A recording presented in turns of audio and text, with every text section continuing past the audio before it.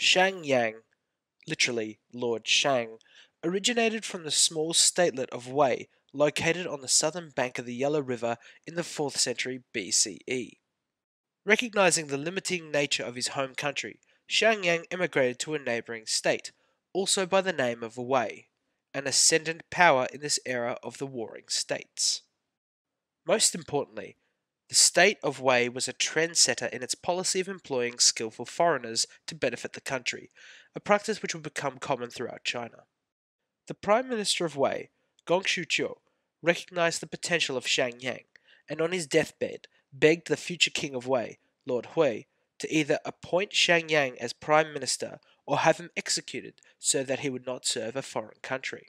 Lord Hui instead allowed Shang Yang to take up a job offer in the court of Qin under the newly ascended Lord Xiao, a decision which would change the fate of the entire Chinese world. The state of Qin, once powerful, had fallen into decline due to plots and intrigue in the royal court. Apocryphally, Shang Yang attempted to convince Lord Xiao to follow long-term policy of empowerment, but was only able to attract his ruler's attention when he spoke of the arts of strengthening the state.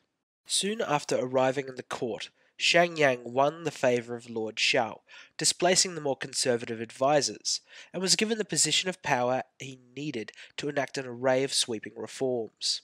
He ordered the people to be grouped into squads of 5 to 10, with a mutually binding legal responsibility.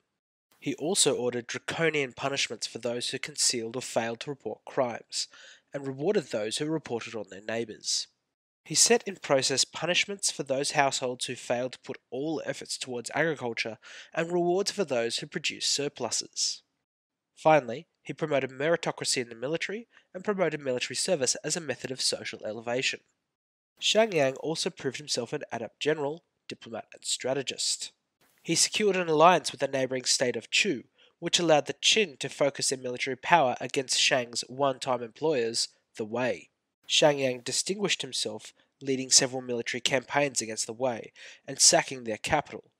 In victory, Shang Yang had secured the Qin's place as new regional hegemon, with the Zhou, son of heaven, delivering a special gift of sacrificial meat to recognize the Qin's new position. In return for these services, Shang Yang was given a small strip of land and 15 settlements as an allotment, and this is where the title of Shang, or Lord, is given to him. However, having attained the apex of his fame and power, Shang Yang was destined for a fall. Soon after the death of his employer, Lord Xiao, Shang Yang was accused by his successor, Lord Hui Wen, of treachery. The accusation could have stemmed from the mutilation of Hui Wen's teacher, for a crime the young heir had committed, breaking one of the strict laws that Shang Yang had put into place. It also could have come from the newly ascendant ruler's fear of the capable and powerful minister who potentially threatened his own rule. Whatever the reason, Shang Yang was sentenced to death and torn to pieces by chariots, an ironic reward for the man who laid the foundations of the Qin conquests and the establishment of the first Chinese imperial dynasty. At the end of the 4th century BCE, an anonymous editor compiled a series of texts which have been attributed to Shang Yang into a book, aptly named the Book of Shang Yang. The text is a highly polemical treatise which attacks the status quo of the warring states' period morality in favour of sweeping reforms.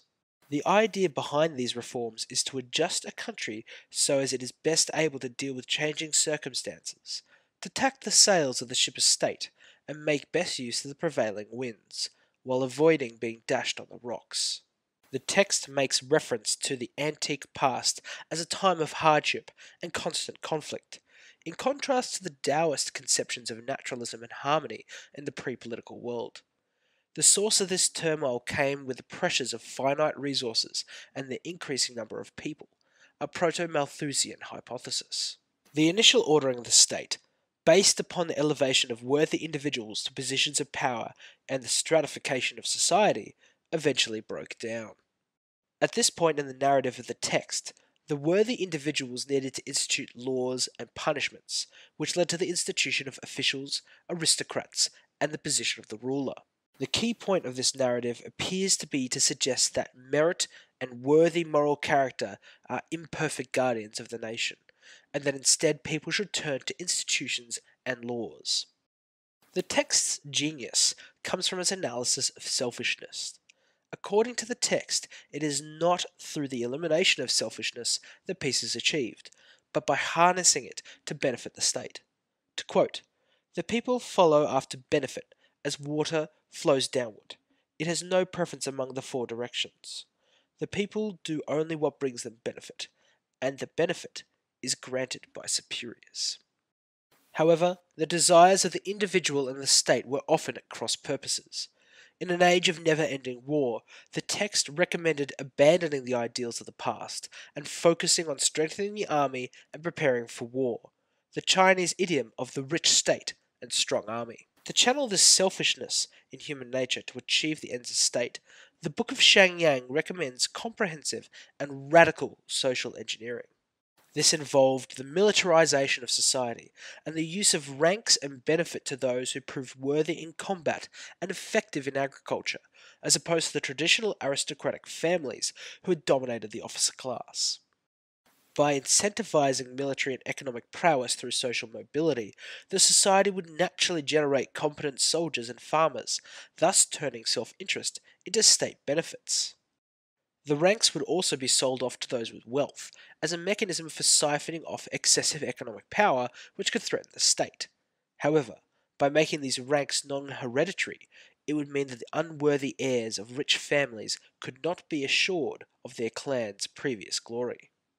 The text doesn't merely leave an outline of how this social engineering is to occur, it stipulates the specific gradients of property, wealth, and status that are to accompany each gradation of rank, and the specific tokens, usually the severed head of an enemy, which are used to demonstrate one's worthiness for rank. No less important than the benefits and rewards offered for military success are the harsh punishments for cowardice, hoarding, laziness, and desertion. It is the combination of the people's dislike of punishments and desire for rewards which Shang Yang hoped would reforge the Qin as a martial people. To implement these measures, a military and civilian bureaucracy would be established which would verify the performance of individuals, reward the deserving, and censure the undeserving.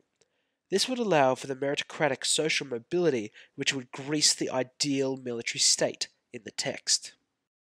The most infamous line in the Book of the Shang Yang is when the people are weak, the state is strong.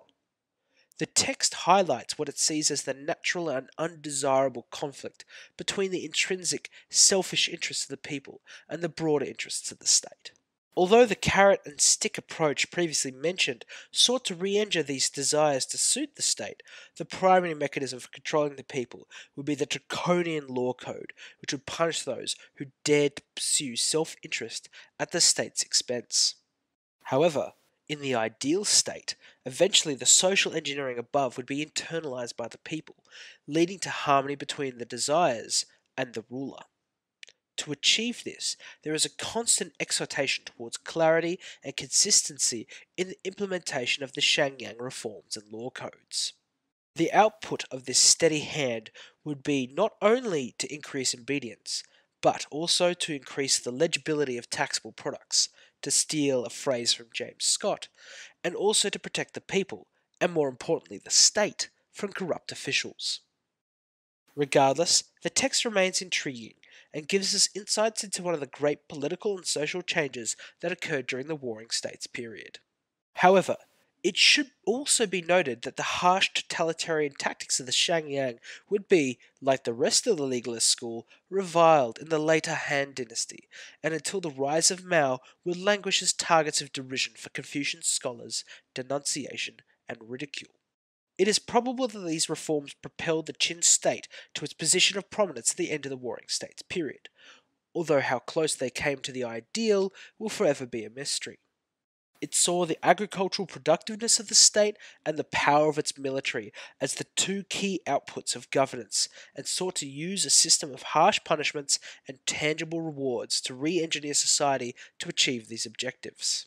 The Shangyang represented one of the first apologetics of unabashed state power in ancient China, a formative document in the legalist tradition.